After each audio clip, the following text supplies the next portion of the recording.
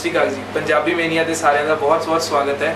ਤੁਸੀਂ last week ਇੱਕ ਸਾਡੇ ਬਹੁਤ ਹੀ ਸਪੈਸ਼ਲ ਗੈਸਟ ਨੂੰ ਮਿਲੇ ਸੀ ਕੁਲਜਿੰਦਰ ਸਿੰਘ ਸਿੱਧੂ ਜੀ ਨੂੰ ਜੋ ਕਿ ਸਾਡਾ ਹੱਕ ਫਿਲਮ ਦੇ ਇੱਕ ਐਕਟਰ ਸੀ ਤੇ ਉਹਨਾਂ ਨੇ ਲੀਡ ਰੋਲ ਕੀਤਾ ਸੀ ਇਸ ਫਿਲਮ 'ਚ। ਤੇ ਆਓ ਤੁਹਾਨੂੰ ਉਹਨਾਂ ਨਾਲ ਦੁਬਾਰਾ ਮਿਲਵਾਉਂਦੇ ਹਾਂ ਤੇ ਜਾਣਦੇ ਹਾਂ ਕੁਝ ਗੱਲਾਂ ਸਾਡਾ ਹੱਕ ਬਾਰੇ ਜੋ ਕਿ ਅੱਜ ਤੱਕ ਕਿਤੇ ਨਹੀਂ ਹੋਈਆਂ। ਕੁਲਜਿੰਦਰ ਜੀ ਸਵਾਗਤ ਹੈ ਇੱਕ ਵਾਰ ਫਿਰ ਪੰਜਾਬੀ ਮੇਨੀਆ ਤੇ ਤੁਹਾਡਾ। Thank you severe Sat Sri ਅਕਾਲ ਦਰਸ਼ਕਾਂ ਨੂੰ।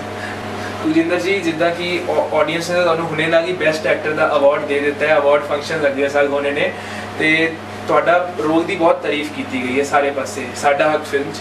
ਤੇ ਤੁਸੀਂ ਰੋਲ ਵਾਸਤੇ ਕੋਈ ਖਾਸ ਤਿਆਰੀ ਕੀਤੀ ਸੀ ਜਦੋਂ ਤੁਸੀਂ, ਇਹ ਕਿ ਕਿ ਪਹਿਲਾਂ ਤੁਹਾਡੇ ਦਿਮਾਗ 'ਚ ਕੋਈ ਹੋਰ ਐਕਟਰ ਹੈਗੇ ਸੀ ਕਿ ਤੁਸੀਂ ਸ਼ੁਰੂ ਤੋਂ ਹੀ ਆਪਦੇ ਆਪ ਨੂੰ ਹੀ ਸੋਚਿਆ ਸੀ ਇਸ ਰੋਲ 'ਚ? ਸਮੀਰ ਇਹ ਫਿਲਮ ਮੈਂ 2004 ਵਿੱਚ ਲਿਖਣੀ ਸ਼ੁਰੂ ਕੀਤੀ ਸੀ। ਅੱਛਾ।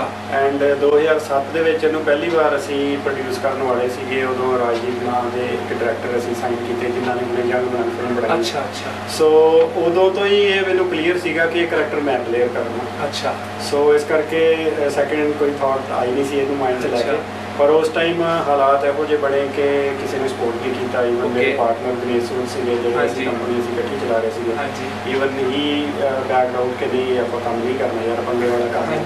ਸੋ ਆਈਡੀਆ ਡ੍ਰੌਪ ਕਰਤਾ ਅੱਛਾ। ਸੋ ਫਿਰ ਦੁਬਾਰਾ 2011 ਦੇ ਵਿੱਚ ਇਸ ਫਿਲਮ ਨੂੰ ਦੁਬਾਰਾ ਮੈਂ ਲਿਖਿਆ ਨਵੇਂ ਨਵੇਂ ਸਿਰੇ ਨਾਲ। ਲਿਖਿਆ ਕਿ ਉਸ ਟਾਈਮ ਕਹਾਣੀ ਕੁਝ ਹੋਰ ਸੀ ਫਿਰ। ਨਵੀਂ ਕਹਾਣੀ ਲਿਖ ਕੇ ਤੇ ਫਿਰ ਜਦੋਂ ਦੁਬਾਰਾ ਡਬਲ ਕੀਤਾ ਤੇ ਫਿਰ ਆਈ ਵਾਸ ਸ਼ੋਰ ਕਿ ਜਦੋਂ ਤੈਅ ਹੋ ਗਿਆ ਕਿ ਇਹ ਫਿਲਮ ਬਣੇਗੀ। ਹਾਂਜੀ। ਸੋ ਇਹ ਵੀ ਤੈਅ ਸੀਗਾ ਕਿ ਕੁਲਜਿੰਦਰ ਇਹ ਰੋਲ ਕਰੇਗਾ। ਅੱਛਾ। ਸੋ ਦੈਨ ਇਹ ਨਹੀਂ ਕਿ ਤੁਸੀਂ ਪ੍ਰੋਡਿਊਸਰ ਹੋ ਤੇ ਤੁਸੀਂ ਇੱਕ ਚੀਜ਼ ਦਾ ਐਡਵਾਂਟੇਜ ਲੈ ਰਹੇ ਹੋ ਜੀ ਹਾਂਜੀ ਮੈਂ ਹੀ ਕਰਨਾ ਹੈ ਜੀ। So I prepare myself for that ਕਿ ਉਹਦੇ ਕਾਬਿਲ ਬਣਾਉਣਾ ਮੈਂ ਮਨਦੀਪ ਉਹਨਾਂ ਨੂੰ ਕਿਹਾ ਮੈਂ ਕਿਹਾ ਤੁਸੀਂ ਆਡੀਸ਼ਨ ਦਿਓ ਪਹਿਲੇ ਜਦੋਂ ਵੀ ਤੁਹਾਨੂੰ ਰਾਈਟ ਟਾਈਮ ਲੱਗੂਗਾ।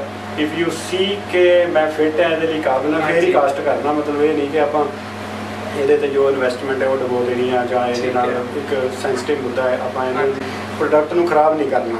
ਨੋ ਕੰਪਰੋਮਾਈਜ਼ ਇਸ। ਕਰਕੇ ਸੋ ਫਿਰ ਅਸੀਂ ਸ਼ੈਮੁਲ ਜੌਨ ਹੁਣਾਂ ਕੋਲੋਂ ਵਰਕਸ਼ਾਪ ਲਗਾਈ 3 ਮਹੀਨੇ ਦੀ ਸੋ ਵਰਕਸ਼ਾਪ ਦੇ ਵਿੱਚ ਇੱਕ ਕਰੈਕਟਰ ਜਿਹੜਾ ਸੀਗਾ ਇਹ ਮੈਂ ਤਿਆਰ ਕੀਤਾ ਕਰਤਾਰ ਸਿੰਘ ਦਾ ਸੋ। ਦਰਸ਼ਕਾਂ ਨੇ ਪਿਆਰ ਕੀਤਾ ਹਾਂਜੀ। ਪਸੰਦ ਕੀਤਾ ਥੈਂਕ ਯੂ ਕੁਲਜਿੰਦਰ ਜੀ ਜਿੱਦਾਂ ਕਿ ਤੁਸੀਂ ਆਪਣੀ ਐਕਟਿੰਗ ਬਾਰੇ ਤਾਂ ਦੱਸ ਰਹੇ ਹੋ ਪਰ ਹੁਣ ਆਪਾਂ ਆ ਜਾਂਦੇ ਹਾਂ ਪ੍ਰੀਮੀਅਰ ਦੀ ਰਾਤ ਜਦੋਂ ਫਨ ਰਿਪਬਲਿਕ ਤੁਹਾਡਾ ਪ੍ਰੀਮੀਅਰ ਹੋ ਰਿਹਾ ਸੀ ਤੇ ਆਪਾਂ ਸਾਰੇ ਉੱਥੇ ਹੀ ਸੀ ਤੁਹਾਨੂੰ ਉੱਥੇ ਪਤਾ ਲੱਗਿਆ ਕਿ ਤੁਹਾਡੀ ਫਿਲਮ ਤੇ ਪੰਜਾਬ ਗਵਰਨਮੈਂਟ ਨੇ ਤੇ ਹੋਰ ਬਾਕੀ ਗਵਰਨਮੈਂਟਸ ਨੇ ਬੈਨ ਲਾ ਦਿੱਤਾ ਹੈ ਉਦੋਂ ਇਮੀਡੀਏਟ ਥਾਟਸ ਤੇ ਫੀਲਿੰਗ ਤੁਹਾਡੀਆਂ ਕਿੱਦਾਂ ਕਿੱਦਾਂ ਦੀਆਂ ਸੀ ਦੇਖੋ ਜਦੋਂ ਪੰਜਾਬ ਭਵਨ ਦੇ ਵਿੱਚ ਪੰਜਾਬ ਗਵਰਨਮੈਂਟ ਨੇ ਇੱਕ ਕਮੇਟੀ ਬਣਾ ਕੇ ਫਿਲਮ ਦੇਖਣ ਦੀ ਉਹਨਾਂ ਨੂੰ ਕਿਹਾ ਸੀਗਾ ਤੇ ਮੈਂ ਇਹ ਉਸੇ। ਰਾਤ ਨੂੰ ਹੀ ਹੋਈ ਸੀ? ਉਸੇ 4 ਦੀ ਰਾਤ ਨੂੰ ਹੀ ਹੈ ਮੈਂ। ਤੇ ਦਿਨੇਸ਼ ਤੇ ਦਿਨੇਸ਼ ਦੇ ਬ੍ਰਦਰ ਰਜੇਸ਼ ਸੂਦ ਤੇ ਕੁਝ। ਹੋਰ ਸਾਡੇ ਦੋਸਤ।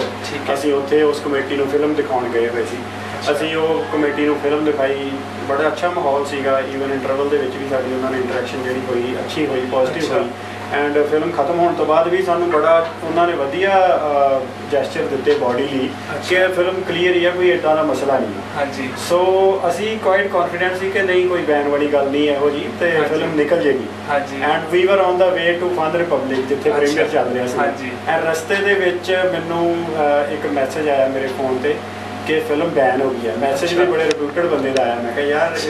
ਇਟ ਕਾਂਟ ਬੀ ਅ ਜੋ ਫਿਰ ਦੋ. ਤਿੰਨ ਜਗ੍ਹਾ ਤੋਂ ਹੋਰ ਆਏ। ਦੈਨ ਮੈਂ ਜਦੋਂ ਵੈਰੀਫਾਈ ਕੀਤਾ ਮੈਨੂੰ ਵਾਕਈ ਲੱਗਾ। ਸੋ ਇਟ ਵਾਸ ਅ ਸ਼ੌਕ ਫਿਰ ਮੈਂ ਉੱਥੇ ਹੀ ਗੱਡੀ ਰੁਕਵਾ ਲਈ। ਮੈਂ ਕਿਹਾ ਯਾਰ ਦੇਖੋ ਹੁਣ ਕੀ ਕਰਨਾ what should be the next step ਹਾਂਜੀ। ਤੇ ਇਨ ਬਿਟਵੀਨ ਹੀ ਅਸੀਂ ਉੱਥੇ ਜੇ ਖੜੇ ਹੀ ਸੀਗੇ ਤੇ ਫਨ ਰਿਪਬਲਿਕ ਤੋਂ ਕਾਲ ਆ ਗਿਆ। ਕਿ ਅਪਵਿੰਦਰ ਸਿੱਧੂ ਜਿਹੜੇ ਸਾਡੀ ਫਿਲਮ ਦੇ ਪ੍ਰੋਡਿਊਸਰ ਸੀਗੇ ਐਸੋਸੀਏਟ ਪ੍ਰੋਡਿਊਸਰ। ਉਹਨਾਂ ਦੀ ਗੱਡੀ ਤੇ ਹਮਲਾ ਹੋ ਗਿਆ। ਬਹੁਤ ਸਾਰੇ ਸ਼ਿਵ ਸੈਨਿਕ ਇਕੱਠੇ ਹੋਏ ਨੇ।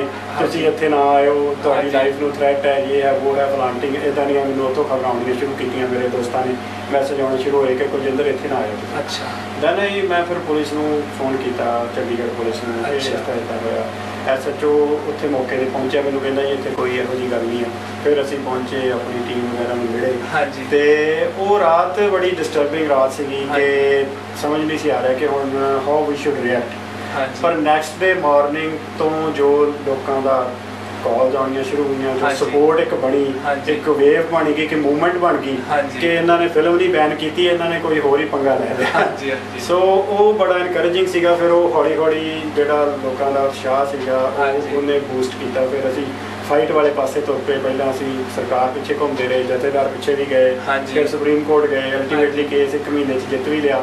ਸੋ ਓਵਰਆਲ ਐਕਸਪੀਰੀਅੰਸ ਨੂੰ ਅੱਜ ਜਦੋਂ ਉਹਨੂੰ ਯਾਦ ਕਰਦੇ ਆ ਤੇ ਚੰਗਾ ਲੱਗਦਾ ਹੈ ਕਿ ਠੀਕ ਹੈ ਵਧੀਆ ਇੱਕ ਫਾਈਟ ਕੀਤੀ ਐਂਡ ਜਿੱਤੇ ਇਸ ਗੁੱਡ। ਸ਼ਾਇਦ ਕਾਫੀ ਦਰਸ਼ਕਾਂ ਨੂੰ ਪਤਾ ਨਾ ਹੋਵੇ ਫਿਲਮ ਇੱਕ ਵਾਰੀ ਸਾਡਾ ਹੱਕ 2012 ਚ ਰਿਲੀਜ਼ ਕਰਨ ਦੇ ਪਲਾਨ ਸੀ ਪਰ ਉਦੋਂ ਇਹਨੂੰ ਸੈਂਸਰ ਬੋਰਡ ਨੇ ਹੀ ਨਹੀਂ ਪਾਸ ਕੀਤਾ ਸੀ। ਐਵੇਂ ਰਾਈਟ ਸਰ ਹਾਂ ਬਿਲਕੁਲ ਤਿੰਨ ਕਮੇਟੀਆਂ ਨੇ ਇਹਨੂੰ ਸੈਂਸਰ ਬੋਰਡ ਦੀਆਂ ਨੇ ਰਿਜੈਕਟ ਕੀਤਾ ਸੀ ਪਹਿਲੇ। ਤੇ ਫਿਰ ਅਲਟੀਮੇਟਲੀ ਐਸਜੀਪੀਸੀ ਨੂੰ ਅਸੀਂ ਸਪੋਰਟ ਲਈ। ਕਾਲ ਕੀਤਾ। ਅੱਛਾ। ਉਹਨਾਂ ਨੂੰ ਇਨਵੋਲਵ ਕੀਤਾ ਉਹਨਾਂ ਨੇ ਸਪੋਰਟ ਕੀਤੀ ਐਂਡ ਇੱਕ ਫਾਈਨਲ ਕਮੇਟੀ ਬਣੀ ਐਫਸੀਏਟੀ ਉਹਨੇ ਫਿਲਮ ਦੇਖੀ ਐਂਡ ਫਿਲਮ ਪਾਸ ਹੋਈ। ਹਾਂਜੀ ਯੂ ਸਰਟੀਫਿਕੇਟ ਨਾਲ ਪਹਿਲਾਂ ਪਾਸ ਯੈਸ ਯੂ ਸਰਟੀਫਿਕੇਟ ਤੇ ਤੁਹਾਨੂੰ ਔਡ ਨਹੀਂ ਲੱਗਿਆ ਕਿ ਪਹਿਲਾਂ ਇੱਕ ਫਿਲਮ ਨੂੰ ਬਿਨਾਂ ਕਿਸੇ ਕੱਟ ਦੇ ਯੂ ਨਾਲ ਪਾਸ ਕਰ ਦਿੱਤਾ ਜਾਂਦਾ ਫਿਰ ਉਸੇ ਸੇਮ ਚੀਜ਼ ਨੂੰ ਏ ਸਰਟੀਫਿਕੇਟ ਨਾਲ ਪਾਸ ਕੀਤਾ ਗਿਆ? ਇਹ ਦੇਖੋ ਜ਼ਬੀਰ 100 ਇਅਰਸ ਆਫ ਇੰਡੀਅਨ ਸਿਨੇਮਾ ਦੇ ਵਿੱਚ ਪਹਿਲੀ ਵਾਰ ਹੋਇਆ ਕਿ ਫਿਲਮ। ਨੂੰ ਤੁਸੀਂ ਪਹਿਲੇ ਯੂ ਦੇ ਦਿਓ ਹਾਂਜੀ। ਬਾਅਦ ਚ ਤੁਸੀਂ ਇਹ ਕਰ ਦਿਓ ਇਹ ਬਹੁਤ ਵਾਰ ਹੋਇਆ ਇਹ ਫਿਲਮ ਹੈ। ਸੈਂਸਰ ਕੋਲ ਤੁਸੀਂ ਲੈ ਕੇ ਜਾਂਦੇ ਹੋ ਤੇ ਤੁਸੀਂ ਸੀਨਸ ਨੂੰ ਆਬਜੈਕਸ਼ਨੇਬਲ ਕੱਟ ਕੇ। ਤੇ ਸੈਂਸਰ ਉਹਨੂੰ ਯੂ ਕਰ ਦਿੰਦਾ। ਪਰ ਯੂ ਵਾਲੀ ਫਿਲਮ ਨੂੰ ਤੁਸੀਂ ਇਹ ਕਿਵੇਂ ਕਰ ਸਕਦੇ ਹੋ ਹਾਂਜੀ, ਇਹ ਪਹਿਲੀ ਵਾਰੀ ਦੇਖਿਆ। It was rare of the rare case ਹੁਣ ਕੁਲਜਿੰਦਰ ਜੀ ਜਿਹੜਾ ਕਿ ਤੁਸੀਂ 1 ਮਹੀਨਾ ਤੁਸੀਂ ਕਹਿ ਰਹੇ ਹੋ ਤੁਸੀਂ 1 ਮਹੀਨੇ 'ਚ ਕੇਸ ਜਿੱਤ ਗਿਆ ਉਹ 1 ਮਹੀਨੇ ਤੁਹਾਨੂੰ ਕੀ ਕੀ ਸੰਘਰਸ਼ ਕੀ ਕੀ ਸਟਰਗਲ ਕਰਨੀ ਪਈ ਉਹਦੇ ਬਾਰੇ ਥੋੜਾ ਜਿਹਾ ਜਿਸ ਦੱਸ ਸਕੋ ਦੇਖੋ ਉਸ ਇੱਕ ਮਹੀਨੇ ਵਿੱਚ ਸਾਨੂੰ ਲੋਕਾਂ ਦਾ ਸੰਗਤ ਦਾ ਬਹੁਤ ਸਪੋਰਟ ਰਹੀ। ਓਵਰਸੀਜ਼ ਦੇ ਵਿੱਚ ਜਿਸ ਤਰੀਕੇ ਨਾਲ ਵੇਰ ਸੀਗੀ ਇੱਥੇ ਲੋਕੀ ਘਰਾਂ ਤੋਂ ਬਾਹਰ ਨਿਕਲੇ ਲੋਕਾਂ ਨੇ ਪ੍ਰਦਰਸ਼ਨ। ਕੀਤੇ ਕੈਂਡਲ ਲਾਈਟ ਮਾਰਚ ਹੋਈ ਪਟਿਆਲਾ ਚੰਡੀਗੜ੍ਹ ਡਿਫਰੈਂਟ ਐਵਰੀਵੇਅਰ ਹਰ ਇੱਕ ਛੋਟੇ ਵੱਡੇ ਟਾਊਨ 'ਚ ਸਭ ਜਗ੍ਹਾ ਤੇ ਲੋਕਾਂ ਨੇ ਪ੍ਰਦਰਸ਼ਨ ਕੀਤਾ ਪ੍ਰੋਟੈਸਟ। ਕੀਤਾ ਕਿ ਕੰਮ ਗਲਤ ਕੀਤਾ ਹੈ ਸੋ ਉਹ ਇੱਕ ਬੜੀ ਅੱਛੀ ਫੀਲਿੰਗ ਸੀ ਕਿ ਅਸੀਂ ਜਿਹੜਾ ਇੱਕ ਕੰਮ ਕੀਤਾ ਉਹ ਚੰਗਾ ਕੀਤਾ ਅਸੀਂ ਸੱਚ ਨੂੰ ਦਿਖਾਉਣ ਵਾਲੇ ਪਾਸੇ। ਤੁਰੇ ਸੀ ਤੇ ਲੋਕਾਂ ਨੇ ਉਸ ਗੱਲ ਨੂੰ ਰੈਕਗਨਾਈਜ਼ ਕੀਤਾ ਹੈ ਐਂਡ ਸਾਡੀ ਐਫਰਟ ਨੂੰ ਲੋਕਾਂ ਨੇ ਇੰਨਾ ਵੱਡਾ ਪਿਆਰ ਸਤਿਕਾਰ ਦਿੱਤਾ ਹੈ ਕਿ ਅਸੀਂ ਐਕਸਪੈਕਟ ਨਹੀਂ ਸੀ ਕੀਤਾ। ਸੋ ਉਹ ਇੱਕ ਬੜੀ ਅੱਛੀ ਇੱਕ ਹਿਸਟਰੀ ਕ੍ਰੀਏਟ ਹੋਈ ਹੈ ਸਾਡਾ। ਹੱਕ ਦੇ ਨਾਲ। ਐਂਡ ਇੱਕ ਮੀਲ ਪੱਥਰ ਰੱਖਿਆ ਗਿਆ ਪੋਲੀਟੀਕਲ ਸਿਨੇਮਾ ਦਾ। ਹਾਂਜੀ। ਇੱਕ ਸਿੱਖ ਸਿਨੇਮਾ ਦਾ। ਜਿਹੜਾ ਹੁਣ ਇਹ ਤੋਂ ਬਾਅਦ ਚਾਲੂ ਰਹੇਗਾ। ਹਾਂਜੀ ਹੁਣ ਹੋਰ ਵੀ ਅੱਗੇ ਫਿਲਮਾਂ ਇਸੇ ਸੇਮ ਸੈਂਸਿਟਿਵ ਟੌਪਿਕ ਤੇ ਬਣ ਰਹੀਆਂ ਜੀ ਜੀ। ਤੇ ਹੁਣ ਕੁਲਜਿੰਦਰ ਜੀ, ਤੁਹਾਨੂੰ ਓਵਰਸੀਜ਼ ਆਡੀਅנס ਨੇ ਬਹੁਤ ਸਪੋਰਟ ਕੀਤਾ ਹੈ ਫਿਲਮ ਨੂੰ ਲੈ ਕੇ। ਉਹ ਤੁਹਾਨੂੰ ਓਵਰਸੀਜ਼ ਤੋਂ ਫੰਡਸ ਵੀ ਆਏ ਸੀ। ਆਨਲਾਈਨ ਡੋਨੇਸ਼ਨ ਵਾਲੇ ਨਹੀਂ। ਜਿਹੜੇ ਤੁਸੀਂ ਵੈਬਸਾਈਟ ਤੇ ਨਹੀਂ ਓਵਰਸੀਜ਼ ਦੇ ਵਿੱਚ ਦੇਖੋ ਜਦੋਂ ਤੁਸੀਂ ਫਿਲਮ ਬਣਾ ਲੈਂਦੇ ਹੋ ਹਾਂਜੀ। ਫਿਲਮ ਬਣਾ ਕੇ ਤੁਸੀਂ ਓਵਰਸੀਜ਼ ਡਿਸਟ੍ਰੀਬਿਊਟਰ ਲੱਭਦੇ ਹੋ। ਹਾਂਜੀ। ਐਂਡ ਡਿਸਟ੍ਰੀਬਿਊਟਰ ਜਦੋਂ ਤੁਹਾਡਾ ਲੱਭ ਜਾਂਦਾ ਮਿਲ ਜਾਂਦਾ ਉਹ ਫਿਰ ਤੁਹਾਨੂੰ ਐਮਜੀ ਦਿੰਦਾ ਹੈ। ਐਮਜੀ ਇਜ਼ ਮਿਨੀਮਮ ਗਾਰੰਟੀ ਹਾਂਜੀ। ਕਿ ਤੁਹਾਡੀ ਫਿਲਮ ਹੈ ਮੈਂ ਤੁਹਾਨੂੰ 20000 ਡਾਲਰ ਵਿੱਚ ਕਮਿਟ ਕਰ ਰਿਹਾ। ਕਿ। ਤੁਹਾਡੀ ਫਿਲਮ ਕੁਝ ਕਮਾਵੇ ਨਾ ਕਮਾਵੇ 20000 ਡਾਲਰ ਮੈਂ ਤੁਹਾਨੂੰ ਦੇ ਰਿਹਾ ਤੁਸੀਂ ਇਹ ਮੇਰੀ ਤੁਹਾਡੀ ਫਿਲਮ ਮੈਂ ਲਾਉਂਗਾ ਦੂਸਰਾ ਬੰਦਾ ਜਿਹੜਾ ਹੈ, ਉਹ ਤੁਹਾਡੇ ਕੋਲ ਆ ਕੇ ਤੁਹਾਨੂੰ ਆਫਰ ਕਰਦਾ ਕਿ ਮੈਂ 25000 ਡਾਲਰ ਤੁਹਾਡੀ ਐਮਜੀ ਦੇਣਾ ਚਾਹੁੰਦਾ। ਸੋ ਤੁਸੀਂ ਉਹਨੂੰ ਦੇ ਦਿੰਦੇ। ਹੋ it's a trade it's a. Business ਕਿ ਤੁਸੀਂ ਫਿਲਮ ਨੂੰ ਵੇਚਣ ਜਾਂਦੇ ਹੋ। ਸੋ ਅਸੀਂ ਉਸੇ ਤਰ੍ਹਾਂ ਤਰੀਕੇ ਦੇ ਨਾਲ ਫਿਲਮ ਵੇਚੀ ਸੀਗੀ। ਐਂਡ ਜਿਹੜੀ ਆ ਡੋਨੇਸ਼ਨ ਸਾਨੂੰ 1 ਰੁਪਏ ਦੀ ਨਹੀਂ ਆਈ ਇਸ ਅੱਛਾ ਤੇ ਵੈਬਸਾਈਟ ਤੁਸੀਂ ਸ਼ੁਰੂ ਨਹੀਂ ਕੀਤੀ? ਨਹੀਂ ਅਸੀਂ ਨਹੀਂ ਸੀ ਸ਼ੁਰੂ ਕੀਤੀ ਉਹ ਸਾਡੇ ਕਿਸੇ ਵੈਲੂਏਸ਼ਨ ਨੇ ਸ਼ੁਰੂ ਕੀਤੀ ਸੀ ਪਰ। ਸੇਮ ਡੇ ਬੰਦ ਵੀ ਹੋ ਗਈ ਸੀ ਅੱਛਾ ਸੇਮ ਡੇ ਹਾਂਜੀ ਉਹ ਬੰਦ ਹੋ ਗਈ ਸੀ ਉਹ ਪੀਟੀਸੀ ਨੇ ਮੁੱਦੇ ਨੂੰ ਚੁੱਕਿਆ ਵੀ ਸੀ ਹਾਂਜੀ, ਹਾਂਜੀ, ਉਹ ਸੇਮ ਡੇ। ਬੰਦ ਹੋ ਗਈ ਸੀ ਅੱਛਾ, ਇੱਕ ਵੀ ਉਹਦੇ ਚ ਰੁਪਏ ਦੀ ਕਲੈਕਸ਼ਨ ਨਹੀਂ ਹੋਈ ਅੱਛਾ ਕੁਲਜਿੰਦਰ ਜੀ ਫਿਲਮ ਦੀ ਡੀਵੀਡੀ ਰਿਲੀਜ਼ ਹੋਈ ਨੂੰ 3 ਮਹੀਨੇ ਹੋ ਗਏ ਆ। ਤੇ ਡੀਵੀਡੀ 'ਚ ਇੱਕ ਤੁਸੀਂ ਬਹੁਤ ਹੀ ਅੱਛਾ ਮੈਸੇਜ ਲਿਖਿਆ ਹੋਇਆ ਹੈ ਅੰਦਰ ਜੇ ਆਪਾਂ ਖੋਲ ਕੇ ਦੇਖੀਏ ਉਹ ਮੈਸੇਜ ਜਿਨ੍ਹਾਂ ਨੇ ਡੀਵੀਡੀ ਨਹੀਂ ਕੀਤੀ ਹੈ ਥੋੜਾ ਜਿਹਾ ਦੱਸ ਸਕੋ ਤਾਂ ਮੈਸੇਜ ਦੇਖੋ ਡੀਵੀਡੀ ਦੇ ਵਿੱਚ ਇੱਕ ਬੁਕਲੈਟ ਹੈ ਐਂਡ। ਬੁਕਲੈਟ ਦੇ ਵਿੱਚ ਅਸੀਂ ਪੂਰੀ ਜਰਨੀ ਦੱਸੀ ਹੈ ਕਿ। ਫਿਲਮ ਕਿਵੇਂ ਬਣੀ ਕੀ ਕੀ ਔਕੜਾਂ ਆਈਆਂ ਕਿਵੇਂ ਅਸੀਂ ਉਹ ਸਾਰਾ ਪ੍ਰੋਸੈਸ ਵਿੱਚੋਂ ਲੰਘੇ ਉਹਦਾ ਮਕਸਦ ਸੀਗਾ ਇੱਕ ਕਿ ਤੁਸੀਂ ਜਦੋਂ ਕੋਈ ਵੀ ਡਿਸੀਜਨ ਲੈਂਦੇ ਹੋ ਕੋਈ ਵੀ। ਚੀਜ਼ ਦੇ ਪ੍ਰਤੀ ਇੱਕ ਨਿਸ਼ਚੈ ਕਰ ਲੈਂਦੇ ਹੋ ਤੇ ਗੁਰਬਾਣੀ 'ਚ ਵੀ ਲਿਖਿਆ ਨਿਸ਼ਚੈ ਕਰ ਆਪਣੀ ਜੀਤ ਕਰੋ। ਤੁਹਾਡਾ ਇਰਾਦਾ ਜੇ ਪੱਕਾ ਹੈ ਤੁਸੀਂ ਚੰਗਾ ਕਾਜ਼ ਕਰ ਰਹੇ ਹੋ ਤੁਹਾਨੂੰ ਪਤਾ ਹੈ ਤੇ ਫਿਰ ਤੁਸੀਂ ਲੱਗੇ ਰਹੋਗੇ ਤੇ ਜਿੱਤ ਹਾਸਲ ਹੁੰਦੀ ਹੈ। ਅਸੀਂ ਉਹਦੇ 'ਚ ਐਕਸਪੀਰੀਅੰਸ ਸ਼ੇਅਰ ਕੀਤਾ ਸੀ ਕਾਫੀ ਐਪਰੀਸ਼ੀਏਟ ਕੀਤਾ ਲੋਕਾਂ ਨੇ ਤੁਸੀਂ ਵੀ ਪੜ੍ਹੀ ਹੈ। ਹਾਂਜੀ ਹਾਂਜੀ ਵੈਲਕਮ ਜੀ। ਤੇ ਇਹਨੂੰ ਸਾਡਾ ਨੂੰ ਹੋਰ ਵੀ ਲੈਂਗੁਏਜਸ ਡਬ ਕੀਤਾ ਜਾਣ ਦੇ ਪਲਾਨ ਹੈ ਕੁਝ ਇਹਨੂੰ ਅਸੀਂ ਹਿੰਦੀ ਤੇ ਇੰਗਲਿਸ਼ ਦੇ ਵਿੱਚ ਡਬ ਕੀਤਾ। ਇੰਗਲਿਸ਼ ਦੇ ਵਿੱਚ ਅਸੀਂ ਆਲਰੇਡੀ ਇਹਦੀ ਡੀਵੀਡੀ ਜਿਹੜੀ ਆ ਓਵਰਸੀਜ਼ ਮਾਰਕੀਟ 'ਚ ਰਿਲੀਜ਼ ਕਰ ਚੁੱਕੇ ਅੱਛਾ ਇੰਡੀਆ 'ਚ ਹਾਂ ਇੰਗਲਿਸ਼ ਵੀ ਇੱਥੇ ਵੀ ਅਵੇਲੇਬਲ ਹੈ। ਅੱਛਾ। ਹਾਂਜੀ। ਤਿੰਨ ਲੈਂਗੁਏਜ ਵਿੱਚ ਅਸੀਂ ਕਰ ਲਈ ਹੈ। ਹਿੰਦੀ ਦੇ ਵਿੱਚ ਸਾਡੇ ਕੋਲ ਜਿਹੜੀ ਸੀਗੀ ਹੋਮ ਵੀਡੀਓ ਕੰਪਨੀ ਜਿਹੜੀ ਸੀ ਉਹ ਬਾਏ ਕਰ ਲਈ ਚੁੱਕੀ ਹੈ rights। ਸੋ ਇਹਦਾ ਸਿਰਫ ਟੀਵੀ ਦੇ ਉੱਪਰ ਫਿਲਮ ਦਾ ਚੱਲਣਾ ਰਹਿ ਗਿਆ ਸੀ। ਹਾਂਜੀ ਹਾਂਜੀ। ਪਰ ਟੀਵੀ ਦੇ ਉੱਤੇ ਸਾਨੂੰ ਜਿਹੜਾ ਸੀ ਸੈਟੇਲਾਈਟ ਰਾਈਟ ਜਿਹੜੇ ਸੀਗੇ ਕਿਸੇ ਨੂੰ ਅਸੀਂ ਚੈਨਲ ਨੂੰ ਦੇਣਾ ਚਾਹੁੰਦੇ ਸੀ ਚੈਨਲ ਵੀ ਲੈਣਾ ਚਾਹੁੰਦਾ ਸੀ। ਪਰ ਉਹ ਸਰਟੀਫਿਕੇਟ ਇਹ ਹੋਣ ਕਰਕੇ ਸਾਡੀ ਡੀਲ ਨਹੀਂ ਹੋਈ। ਸੋ ਇਹ ਸਰਟੀਫਿਕੇਟ ਵਾਲੀ ਫਿਲਮ ਨੂੰ ਤੁਸੀਂ ਕੱਟ ਲਗਵਾ ਕੇ ਸੈਂਸਰ ਕੋਲੋਂ ਯੂ ਸਰਟੀਫਿਕੇਟ ਜਾਂ ਯੂਏ ਲੈ ਕੇ ਟੀਵੀ ਤੇ ਰਿਲੀਜ਼ ਕਰ ਦਿੰਦੇ ਹੋ। ਨਾਰਮਲੀ ਹੁੰਦਾ ਆ। ਈਵਨ ਡਰਟੀ ਪਿਕਚਰ ਜਿਹੜੀ ਹੈ ਆ ਤੁਸੀਂ ਗ੍ਰੈਂਡ ਮਸਤੀ ਵੀ ਦੇਖ ਲੈਣੀ ਟੀਵੀ ਤੇ। ਇਹੋ ਜਿਹੀਆਂ ਫਿਲਮਾਂ ਵਲਗਰ ਨਾਲ ਭਰਪੂਰ ਜਿਹੜੀਆਂ ਹਰ ਤਰ੍ਹਾਂ ਦੀਆਂ ਉਹਦੇ 'ਚ ਵੀ ਮਾੜੇ ਮੋਟੇ ਕੱਟ ਲਾ ਕੇ ਤੁਸੀਂ ਸਰਟੀਫਿਕੇਟ ਲੈ ਕੇ ਟੀਵੀ ਤੇ ਵੀ ਚਲਾ ਦਿੰਦੇ ਹੋ। ਹਾਂਜੀ। ਪਰ ਦੇ ਰਿਫਿਊਜ਼ਡ ਸਰਟੀਫਿਕੇਸ਼ਨ ਟੂ ਸਾਡਾ ਹੱਕ। ਓਕੇ ਇੱਥੇ ਅਗੇਨ ਸਾਡੇ ਨਾਲ ਦੁਬਾਰਾ ਇਨਜਸਟਿਸ ਹੋ ਗਿਆ। ਦੋ ਕਮੇਟੀਆਂ ਨੇ ਸਾਨੂੰ ਨਾ ਕਰਤੀ ਹੈ ਕਿ ਇਹ ਫਿਲਮ ਟੀਵੀ ਤੇ ਨਹੀਂ ਜਾਊਗੀ ਕਿਉਂਕਿ ਇਹ ਫਿਲਮ ਦੇਖ ਕੇ ਜਿਹੜੇ ਯੰਗ ਬੱਚੇ ਆ ਉਹ ਗਲਤ ਮੈਸੇਜ ਲੈਣਗੇ। ਸੋ ਇਹੋ ਜੀ ਉਹਨਾਂ ਦੀ ਥਾਟ ਹੈ। ਤੇ ਯੰਗ ਬੱਚਿਆਂ ਨੇ ਤਾਂ ਸਿਨੇਮਾ 'ਚ ਵੀ ਫਿਲਮ ਨੂੰ ਦੇਖਿਆ। ਸਿਨੇਮਾ 'ਚ ਦੇਖ ਲਿਆ YouTube ਤੇ ਦੇਖ ਲਿਆ। ਹੋਰ। ਇਹਨੇ ਮੀਡੀਅਮ ਨੇ ਹੁਣ ਤੁਸੀਂ ਇਨਫੋਰਮੇਸ਼ਨ ਟੈਕਨੋਲੋਜੀ ਦੇ ਯੁੱਗ ਵਿੱਚ ਤੁਸੀਂ ਕਹੋ ਕਿ ਕੋਈ ਗੱਲ ਦੱਬੀ ਰਹਿ ਜਾਊਗੀ ਇਟਸ ਨਾਟ ਪੋਸੀਬਲ ਹੁਣ ਜਿੱਦਾਂ ਤੁਸੀਂ ਆਪ ਹੀ ਆਈਟੀ ਦਾ ਯੁੱਗ ਚੱਲ ਰਿਹਾ ਤੇ ਤੁਹਾਨੂੰ ਸੋਸ਼ਲ ਮੀਡੀਆ ਤੇ ਆਡੀਅנס ਵੱਲੋਂ ਬਹੁਤ ਜ਼ਿਆਦਾ ਹੁੰਗਾਰੇ ਭਰੇ ਗਏ ਸਪੋਰਟ ਮਿਲੀ ਹੈ ਤੁਹਾਨੂੰ ਬਹੁਤ।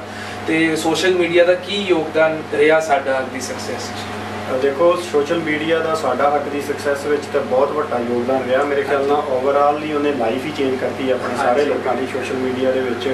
ਅੱਜ ਤੁਹਾਨੂੰ ਕੋਈ ਅਖਬਾਰ ਕਿਸੇ ਟੀਵੀ ਚੈਨਲ ਕਿਸੇ ਉਹਦੀ ਲੋੜ ਨਹੀਂ ਹੈ। ਤੁਸੀਂ ਜਿਹੜੀ ਗੱਲ ਦੁਨੀਆ ਨੂੰ ਪਹੁੰਚਾਉਣੀ ਹੈ ਐਫਬੀ ਤੇ ਪਾਰੋ ਟਵਿੱਟਰ ਤੇ ਪਾਰੋ ਸਾਰੀ ਦੁਨੀਆ 'ਚ ਤੁਹਾਡੀ ਗੱਲ ਪਹੁੰਚ ਜਾਂਦੀ ਹੈ। ਕੁਲਜਿੰਦਰ ਜੀ ਹੁਣ ਇੱਕ ਆਖਰੀ ਸਵਾਲ।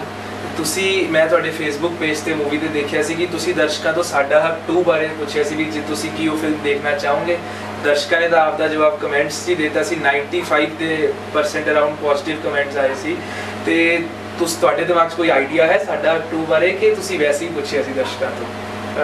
ਦੇਖੋ ਉਸ ਟਾਈਮ ਮੈਂ ਵੈਸੇ ਹੀ ਪੁੱਛਿਆ ਸੀਗਾ। ਕਿਉਂਕਿ ਸਾਡਾ ਹੱਕ 1 ਦੀ ਸਕਸੈਸ ਤੋਂ ਬਾਅਦ ਬਹੁਤ ਸਾਰੀਆਂ ਗੱਲਾਂ ਹੈਗੀਆਂ ਨੇ ਉਸ ਦੌਰ ਦੀਆਂ।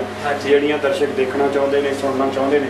ਸੋ ਅਸੀਂ ਜਾਣਨਾ ਚਾਹੁੰਦੇ ਸੀਗੇ ਕਿ ਕੀ ਆਮ ਆਡੀਅנס ਦੀ ਕੀ ਡਿਮਾਂਡ ਹੈ। ਜੋ ਡਿਮਾਂਡ ਦੇ ਹਿਸਾਬ ਨਾਲ ਸਪਲਾਈ ਹੁੰਦੀ ਹੈ। ਸੋ ਉਸ ਤੋਂ ਬਾਅਦ ਅਸੀਂ ਸੋਚਣਾ ਸ਼ੁਰੂ ਕੀਤਾ ਐਂਡ ਅਸੀਂ ਕਾਫੀ ਨੇੜੇ ਇੱਕ ਸਕ੍ਰਿਪਟ ਜਿਹੜੀ ਸੀ ਉਹ ਪਹੁੰਚ ਗਏ ਅੱਛਾ ਐਂਡ ਅਸੀਂ ਉਹ ਬਣਾਉਣ ਵੱਲ ਹੀ ਜਾ ਰਹੇ ਸੀਗੇ ਸਾਡਾ ਹੱਕ ਟੂ ਪਰ ਫਿਰ ਅਸੀਂ ਡਿਸੀਜਨ ਲਿਆ ਕਿ ਨਹੀਂ ਇਹ this is not the right time ਹਾਂਜੀ ਟੂ ਮੇਕ ਸਾਡਾ ਹੱਕ 2 ਕਿਉਂਕਿ 2 has to be bigger than 1 Yeah. And ਉਹਦੇ ਲਈ ਵੀ ਟੁਕ ਮੋਰ ਟਾਈਮ ਅਸੀਂ ਹੁਣ ਡਿਸੀਜਨ ਲਿਆ ਕਿ ਉਹਨੂੰ ਸ਼ਾਇਦ ਮੇਬੀ 2014 ਚ ਫਲੋਰ ਤੇ ਲੈ ਕੇ ਜਾਈਏ ਜਾਂ ਹੋ. ਸਕਦਾ 2015 ਚ ਜਾਈਏ ਪਰ ਹੋ ਜਾਏਗੀ ਪਰ ਉਹ ਜਾਏਗੀ ਐਂਡ ਪ੍ਰੋਪਰ ਸਕ੍ਰਿਪਟ ਐਂਡ ਸਾਰਾ ਕੁਝ ਜਦੋਂ ਇੱਕ ਵਧੀਆ ਇੱਕ ਮੈਸੇਜ ਮੀਨਿੰਗਫੁਲ ਗੱਲ ਹੋਏਗੀ। ਸਾਡੇ ਕੋ ਕਹਿਣ ਲਈ। ਫਿਰ ਅਸੀਂ ਸਾਡਾ 2 ਜ਼ਰੂਰ ਲੈ ਕੇ ਆਵਾਂਗੇ ਪਰ ਉਸ ਤੋਂ ਪਹਿਲੇ ਹੁਣ ਯੋਧਾ ਆਏਗੀ ਇਨ ਬਿਟਵੀਨ ਇੱਕ ਹੋਰ ਵੀ ਗੱਲ ਚੱਲ ਰਹੀ ਹੈ ਫਿਲਮ ਦੀ ਸਾਡੀ ਰਣਜੀਤ ਸਿੰਘ ਹੁਣਾਂ ਨਾਲ। ਸੋ ਹੋ ਸਕਦਾ ਹੈ ਇਨ ਬਿਟਵੀਨ ਇੱਕ ਦੋ ਫਿਲਮਾਂ ਆ ਜਾਣ ਤੇ ਕੁਲਜਿੰਦਰ ਜੀ ਜੋ ਕੁਝ ਹੋਇਆ ਸਾਡਾ ਪਹਿਲੇ ਪਾਰਟ ਨਾਲ ਤੇ ਉਸ ਤੋਂ ਬਾਅਦ ਵੀ ਤੁਸੀਂ ਬਣਾਉਣਾ ਚਾਹੋਗੇ ਪਾਰਟ 2 ਹਾਂ ਦੇਖੋ ਪਹਿਲੇ ਨਾਲ ਜੋ ਕੁਝ ਵੀ ਹੋਇਆ ਪਰ ਐਂਡ ਆਫ ਦੀ ਡੇ ਪਰਮਾਤਮਾ। ਨੇ ਸਾਨੂੰ ਸਕਸੈਸ ਦਿੱਤੀ ਹੈ ਵਿਨਰ ਰਹੀ ਹੈ ਜਿਵੇਂ। ਤੁਸੀਂ ਕਿਹਾ। ਤੇ ਹੁਣ ਵਿਨਿੰਗ ਟੀਮ ਦੇ ਨਾਲ ਤਾਂ ਫੇਰ ਵਰਲਡ ਕੱਪ ਖੇਡਣਾ ਚਾਹੀਦਾ। ਹਾਂਜੀ ਹਾਂਜੀ ਸਹੀ। ਤੇ ਹੁਣ ਕੁਲਜਿੰਦਰ ਜੀ ਬਹੁਤ ਬਹੁਤ ਥੈਂਕ ਯੂ ਤੁਸੀਂ ਸਾਨੂੰ ਟਾਈਮ ਦਿੱਤਾ ਸੈਕਿੰਡ ਟਾਈਮ ਇੰਟਰਵਿਊ ਵਾਸਤੇ। ਤੇ and thank you so much thank you ਸਵੀਨ and Punjabi.